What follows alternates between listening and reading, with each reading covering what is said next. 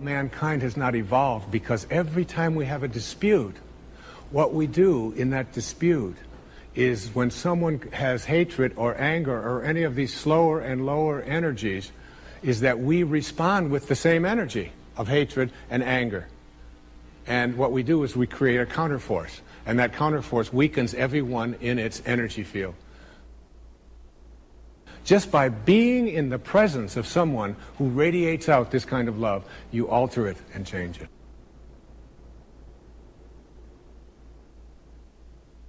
And here's what Mother Teresa said.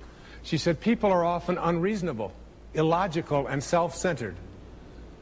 Forgive them anyway.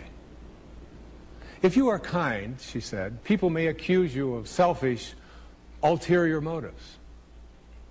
Be kind anyway. If you are successful, you will win some false friends and some true enemies. Succeed anyway. If you are honest and frank, people may cheat you. Be honest and frank anyway. What you spend years building, someone may destroy overnight. Build anyway.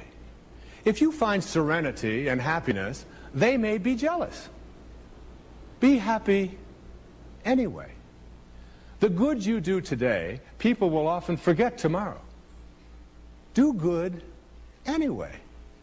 Give the world the best you have, and it may just never be enough.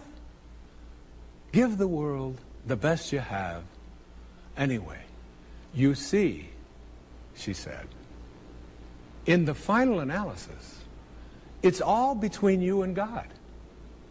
It was never between you and them anyway.